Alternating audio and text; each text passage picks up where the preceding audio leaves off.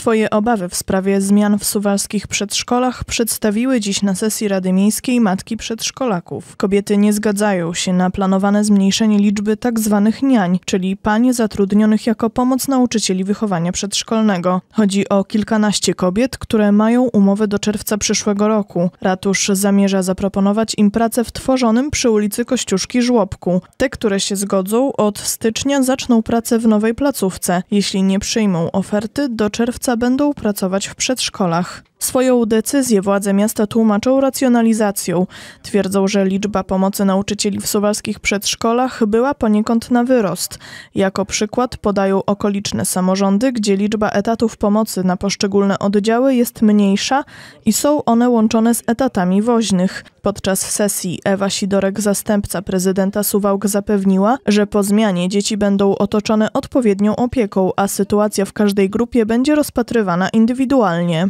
Zrobimy wszystko, żeby te standardy były zachowane, żeby przede wszystkim bezpieczeństwo dzieci było zachowane, żeby nie było obawy, że tylko przez to, że jest może mniej pań w przedszkolu, dzieci nie chodzą na wycieczki, nie chodzą do kina, nie korzystają z całego z całego, no z wszystkich propozycji, które jako miasto przedszkolom dajemy.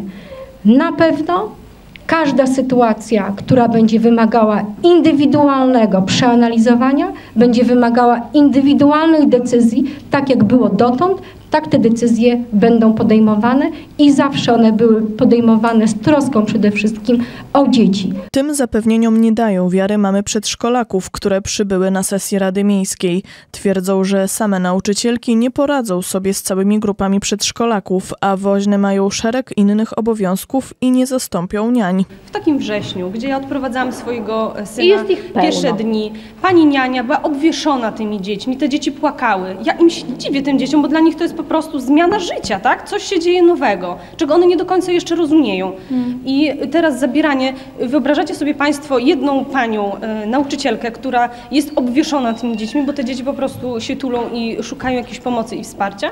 To jest nierealne.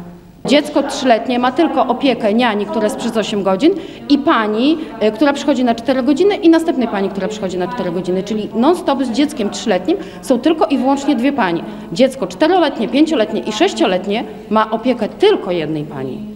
I jest tylko pod jej opieką, a zauważmy to, że pani opiekuje się, e, w grupie ma 25 dzieci, tak? I musi te wszystkie dzieci naraz ogarnąć. Czesław Renkiewicz, prezydent miasta, prosił o przyjęcie trudnej decyzji ze zrozumieniem.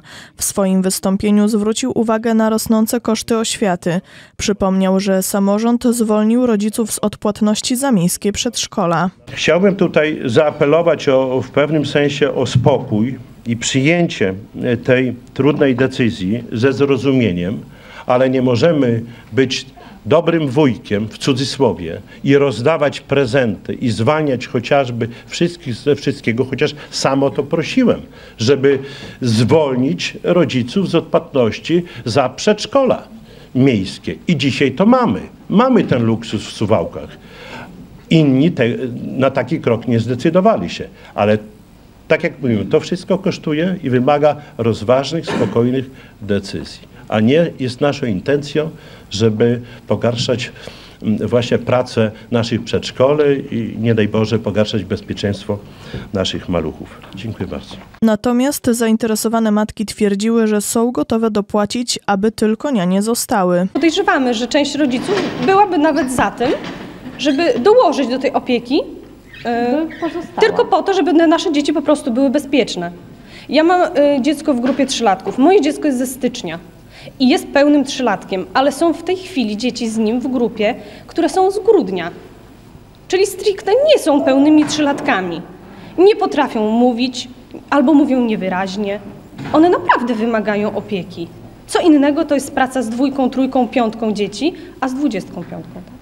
Na razie nie wiadomo, co dalej z prezydencką decyzją w sprawie niań. Mariola Karpińska, radna Prawa i Sprawiedliwości, twierdzi, że wszystko jest w rękach rodziców, bo ustawodawca dał im administracyjny instrument, który pozwala zażądać zwiększenia etatów pań pomocy przedszkolnej. Zaskoczeni jesteśmy tym, że nie było żadnych konsultacji z rodzicami i nie było z nami radnymi konsultacji.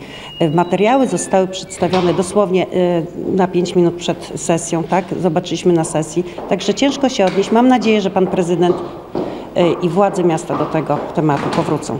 Myślę, że wnioski rodziców. Tutaj, co powiedziałam, z rozporządzenia jasno wynika, że powinny e, na wniosek rodziców, rodzice mają takie prawo. e, Ustawodawca przewidział to teraz w tej ustawie, o której, w rozporządzeniu, o którym mówiłam na dzisiejszej sesji.